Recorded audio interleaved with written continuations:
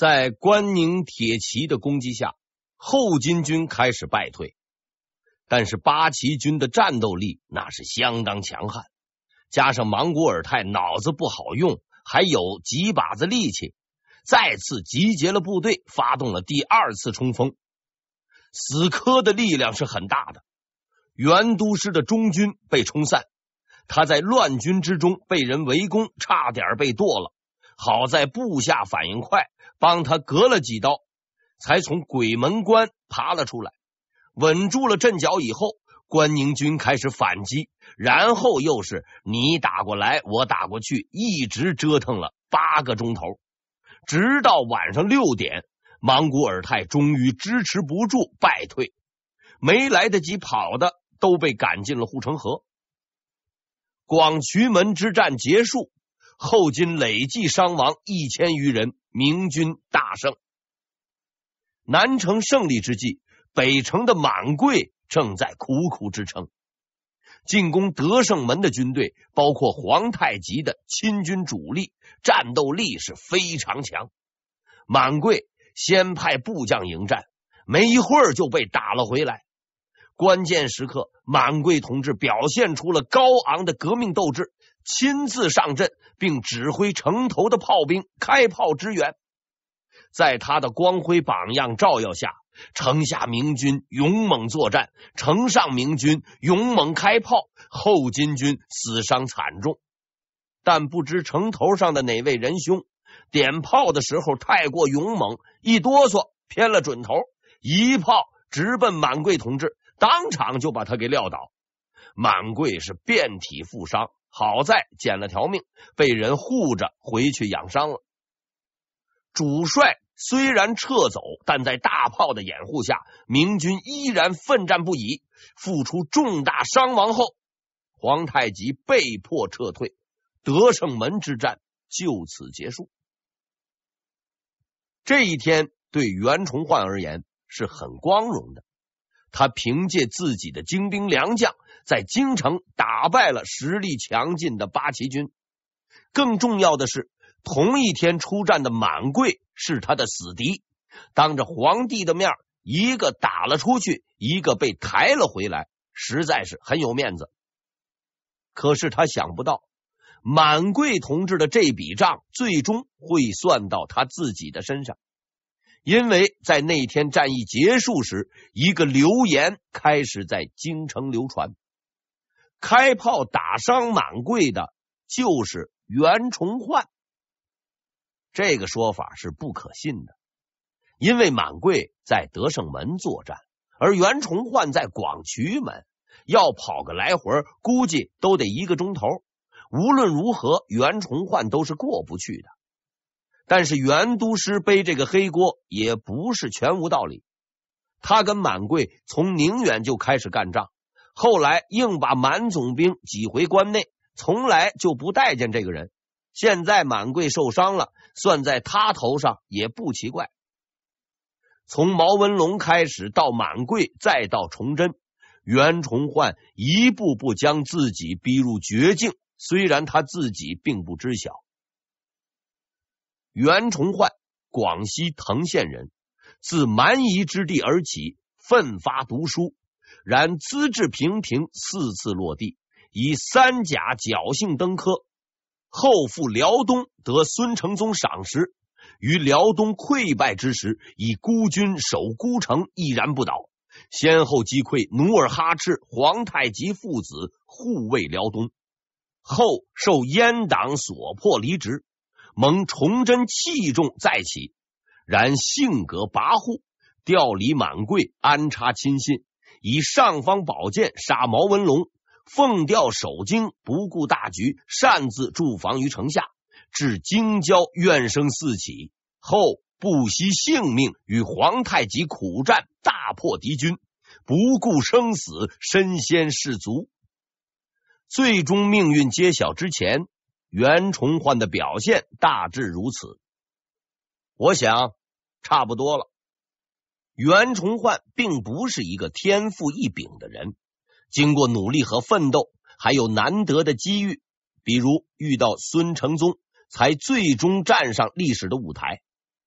他并不完美，不守规章，不讲原则，想怎么干就怎么干，私心很重，听话的就提，不听话的就整或者是杀。而某些所谓专家的所谓力挽狂澜的评价，基本就是扯淡。客观的讲，以袁崇焕的战略眼光，跟着皇太极绕京城跑圈和实际表现擅杀毛文龙。守城出战，确属上乘。让他继续镇守辽东，还能闹出什么事儿来也难说。所谓挽救大明危局，随便讲讲吧。袁崇焕绝不是叛徒，也绝不是一个关键性人物。他存在与否，并不能决定明朝的兴衰成败。换句话说，以他的才能，无论怎么折腾，该怎么样还怎么样。对于这个悲剧性的结论，我不知道袁崇焕是否知道。他的一生丰富多彩，困守孤城，决死拼杀，遭人排挤，纵横驰骋，身处绝境，人家遇不上的事儿，他大都遇上了。但无论何时何地，得意失意，他一直在努力。他坚信自己的努力终将改变一切。崇祯二年十一月二十七日，京城九门的守军换防，一切准备就绪，最终的结局已经注定，无需改变，也无法改变。就在这天，袁崇焕开始了自己人生中的最后一战——左安门之战。袁崇焕列队于城外，因为不能入城，他只能背城布阵。背对着冰冷的墙砖，在北方凛冽的寒风中，面对皇太极，拉开了波澜壮阔人生的最后一幕。后金军用潮水般的进攻，证明了自己还想进北京抢一把的美好愿景。但是关宁铁骑用倒在他们面前的无数尸体证明，你们不行。双方在左安门外持续激战。经过长达五个多小时的拉锯，皇太极终于支持不住，再次败退。左安门之战以明军获胜告终，结束了，都结束了。一个将军最好的归宿，就是在最后一场战役中被最后一颗子弹打死。这是巴顿说的。我原先认为。说这句话的人应该是吃饱了撑的，外加精神失常。现在我明白了，他是对的。十二月十一日，袁崇焕得到指示，皇帝召见，立即进城。召见的理由是议赏，换句话说就是发工资。命令还说，部将祖大寿一同觐见。从古到今，领工资这种事儿都是跑着去的。袁崇焕二话不说，马上就往城里边跑，所以他忽略了如下问题：既然是一赏，为什么要拉上祖大寿？跑到城下却没人迎接，也不给开城门。等了半天，城上面丢下来个筐子，让袁都师蹲进去，然后人家拉上来。这种入城的方法虽说比较寒碜，但好歹还是进去了。在城内守军的指引下，他来到了平台。满贵和黑云龙也来了，正等待着他。在这个曾带给他无比荣誉和光辉的地方，他第三次见到了崇祯。第一次来，崇祯很客气，对他是言听计从。说什么是什么，要什么给什么。第二次来还是很客气，都十一月份了，城头风大，二话不说就脱掉了衣服，很够意思。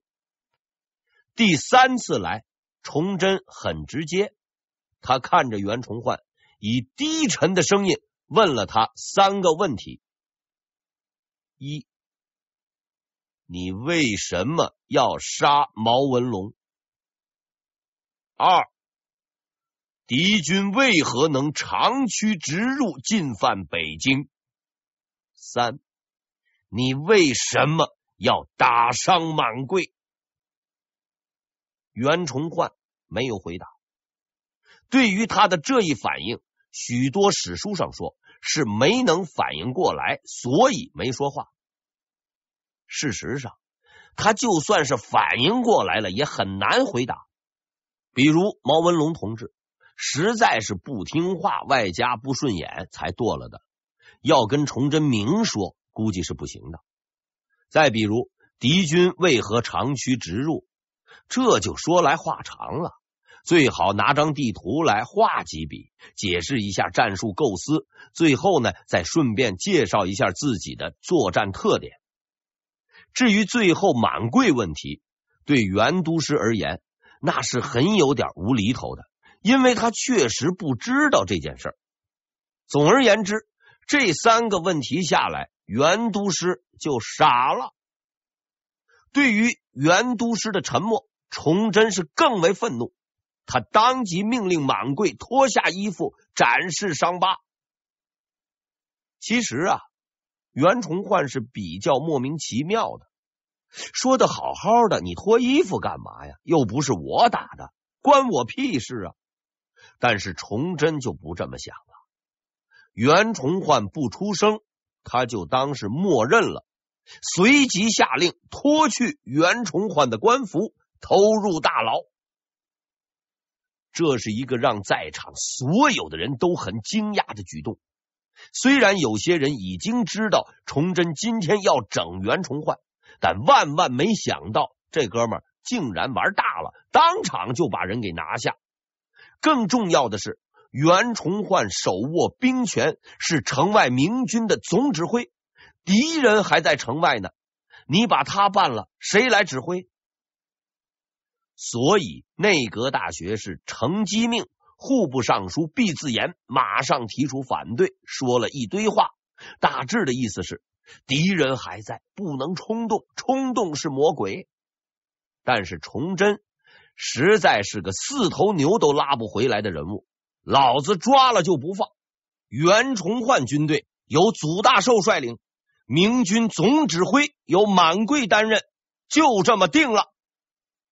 现在你应该明白，为什么两次平台召见，除袁崇焕外，还要叫上满贵、黑云龙和祖大寿。祖大寿是袁崇焕的心腹，只要他在场，就不怕袁军哗变；而满贵是袁崇焕的死敌，抓了袁崇焕，可以马上接班。如此心计，令人胆寒呐！纵观崇祯的表现，可以断言如下：但凡说他蠢的，才真蠢。但这个滴水不漏的安排还是漏水。袁崇焕被抓的时候，祖大寿看上去并不吃惊，他没有大声喧哗，也没有高调抗议，甚至连句话都没说。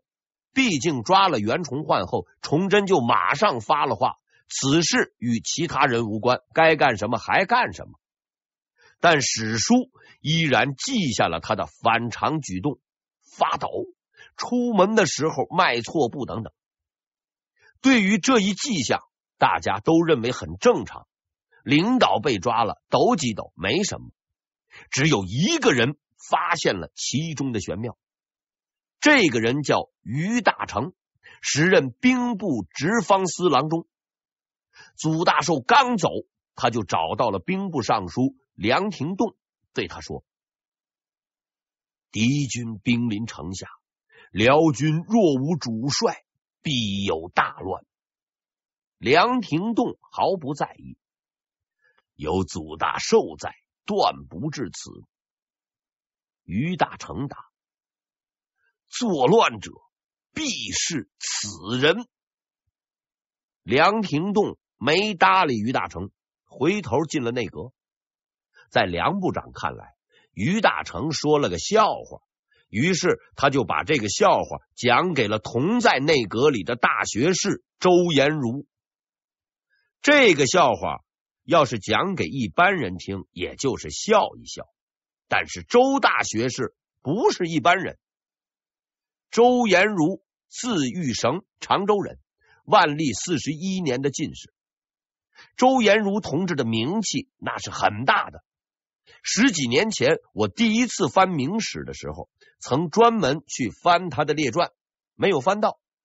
后几经查找，才发现这位仁兄被归入了特别列传《奸臣传》。奸臣与否不好说，奸是肯定的。此人天资聪明，是万历四十一年的状元。听到这句话，嗅觉敏锐的周延儒立即起身就问：“于大成在哪里？”于大成找来了，他接着问：“你认为祖大寿会反吗？”于大成回答：“必反。几天？三天之内。”周延儒立即指示梁廷栋密切注意辽军动向，有异常立即报告。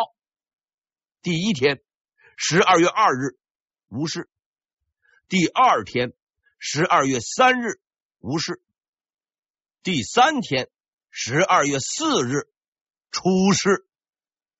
祖大寿未经批示，于当日凌晨率领辽军撤离北京，他没有投敌。临走时留下话，说要回宁远。回宁远，也就是反了。皇帝十分震惊。关宁铁骑是精锐主力，敌人还在，要是都跑了，摊子怎么收拾啊？周延儒很镇定，他立即叫来了于大成，带他去见皇帝谈话。皇帝问。祖大寿率军出走怎么办？于大成答：“袁崇焕被抓，祖大寿心中畏惧，不会投敌。”皇帝再问：“怎么让他回来？”于大成答：“只有一件东西能把他拉回来，这件东西就是袁崇焕的手谕。好办。”马上派人去牢里找袁都师写信，袁都师不写，可以理解，被人当场把官服收了，关进了耗子了，有意见难免。加上袁都师本非善男信女，任你说就是不写。朝廷急了，内阁大学士外加六部尚书搞了个探监团，全跑到监狱去了。轮流在那劝说，口水乱飞。袁都师还是不肯，还说出了不肯的理由。哎呀，我不是不写，只是写了没用。祖大寿听我的话，是因为我是都师。现在我已经入狱，他必定不肯就范。这话糊弄崇祯还行，于大成是懂业务的。什么？你是都师，他才听你的话。那崇祯还是皇上呢，他不也跑了吗？但是这个话要说破了就没意思了。所以于大成同志换了个讲法，先捧了捧袁崇焕，然后从民族大义方面对袁崇焕进行了深刻的教育。说到最后，袁都师欣然拍板，马上就写。拿到信后。崇祯立刻派人没日没夜的去追，但是祖大寿实在是跑得太快，追上的时候人都到了锦州了。事实证明，袁都师就算改行去卖油条，说话也是管用的。祖大寿看见书信，还没见着人呢，就当即大哭失声啊！二话不说，就带领着部队回了北京。局势。暂时稳定，一天后再度逆转。十二月十七日，皇太极再度发起攻击，这回他选择的目标是永定门。估计呀是转了一圈，没抢到多少实在玩意儿，所以呢，皇太极决定玩一把大的，他集结了所有的兵力，猛攻永定门。明军在城下列阵，由满贵指挥，总兵力约四万，迎战后金。战役的结果再次证明，古代游牧民族在玩命方面有优越性。经过整日激战，明军付出重大伤亡，主将满贵战死，但后金军也损失惨重，未能攻破城门，全军撤退。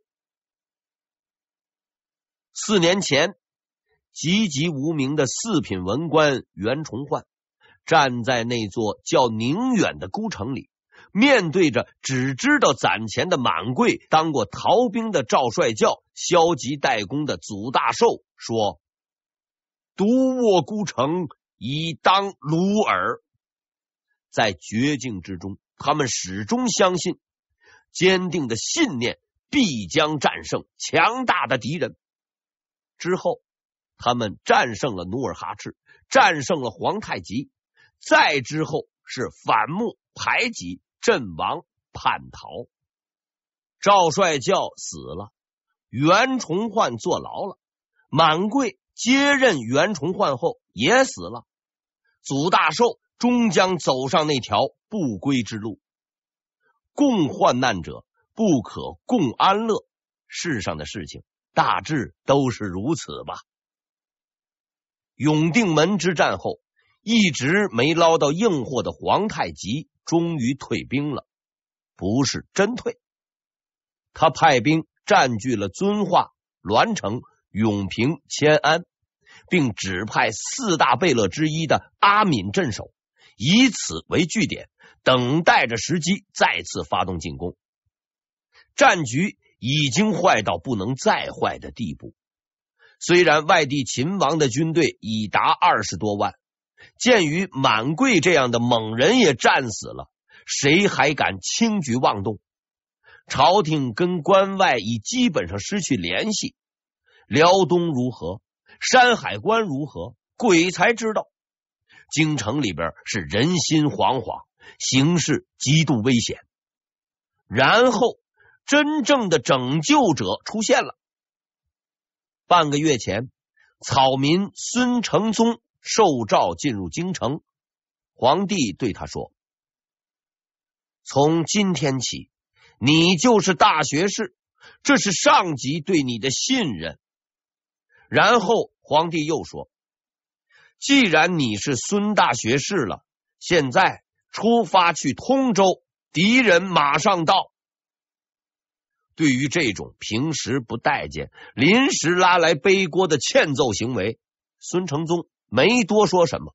在他看来，这是义务。但要说上级一点不支持也不对。孙草民进京的时候，身边只有一个人；他去通州迎敌的时候，朝廷还是给了孙大学士一些人，一些人的数量是二十七个。孙大学士就带着二十七个人从京城冲了出来，前往通州。